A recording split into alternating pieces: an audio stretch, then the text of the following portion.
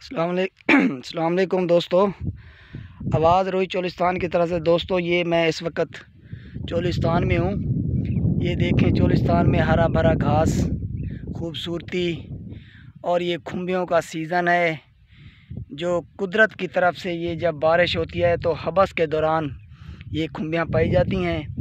मैं ये आपको दिखाना चाहता हूँ, ये मैं जिस जगह पे खड़ा हूँ जगह जगह खुम्बियाँ हैं, मैं आपको वीडियो में दिखाऊँगा, ये कैसे होती है। जब ये बारिश होती है, बारिश के बाद हवस होता है तो ये कुदरत की तरफ़ से ये मट्टी से ये निकल आती है। तो इसका ये सालन बनाया जाता है, ये देखें, ये एक ही जगह पे दो खुम्बियाँ खड़ी हैं। ये मैं तोड़ रहा हूँ, ये देखें, ये ये देखें, ये ये दो खुम्बियाँ हैं। आगे मैं आपको दिखाना चाहता हूँ एक बहुत बड़ी खुम्बी जो एक साइड पे खड़ी हुई है, मैं आपको दिखाऊँ। ये रोही का नज़ारा देखें आप लोग, ये देखें, ये कितनी बड़ी है।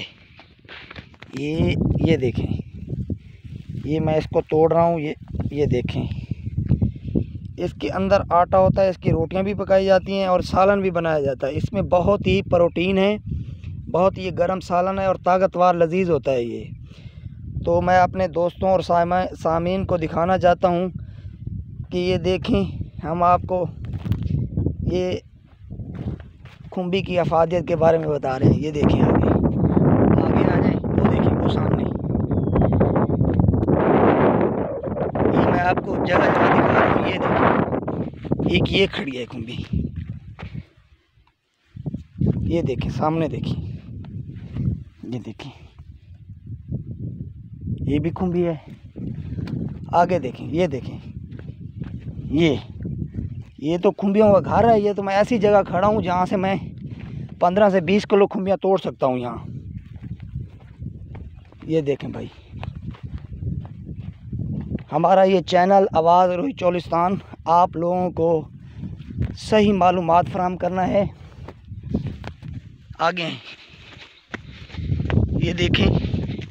ये बहुत बड़ी खुम्बी है आगे। इसको देखें। ये देखें जी। इसको गौर से देखें, ये कितनी खूबसूरत है। और ये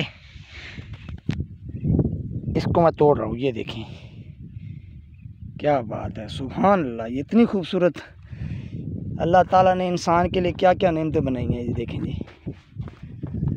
अब आगे, ये मैंने देखी है आगे, और भी जगह हैं, बहुत सी।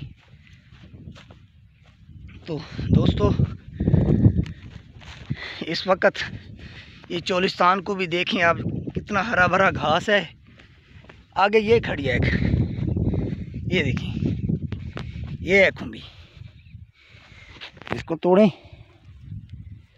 क्या बात है जी। ये तो दो मिनट के अंदर अंदर देखें इसको। मैंने कितने खुम्बियाँ तोड़ ली हैं।